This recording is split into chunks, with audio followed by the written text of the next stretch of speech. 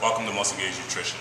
You can visit us at mgnstore.com or on Facebook at www.facebook.com backslash muscle gauge nutrition. Today we'll be going over proper technique and form for the bench press. Um, first thing you want to take a look at is your feet placement. Notice how his feet are flat on the ground. It's very important that you keep a flat foot while you're benching. You don't want to get up on your toes or let your um, feet slide outwards. Also, you don't want to keep them pigeon toed while you're lifting. Um, you want to keep a nice flat foot to give you more power and push as you lift.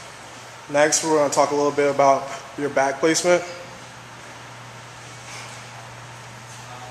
Notice how, as Osagie lays down, he has a nice, straight, flat back. Um, it's important while you're benching that you don't want to get too much of an arch in your back. That can lead to um, lower back injury while you're lifting. You want to try to keep your back fairly even on the bench as you lift and press through your legs and your hips to gain more power. Moving on, we're going to talk a little bit about Osagie's hand placement on the bench. On most bars, most working size bar, you'll have this ring here. Um, it's important to gauge your hand placement. You don't want to be too close in. You use more of your triceps when your hands are too close in. And the farther out you are, you put a lot of strain on your shoulders.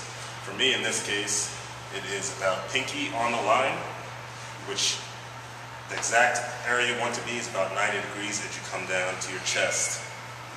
There are two different types of grip.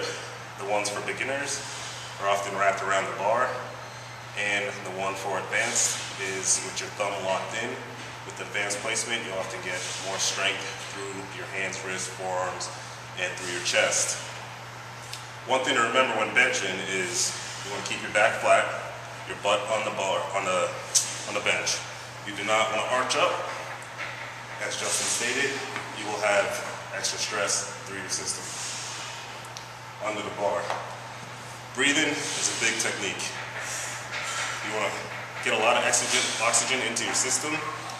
You do not want to breathe in as you're pushing.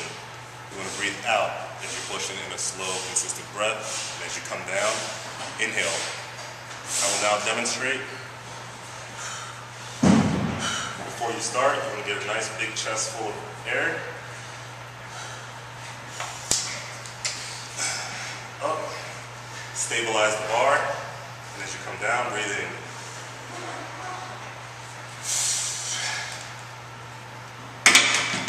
Now you'll notice with that rep, as you come down, you want bar placement to be right at your nipple or just below your nipple.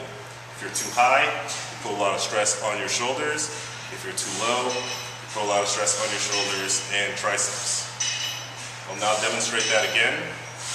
Bar placement, advanced hand lock, up, stabilize the bar, come down,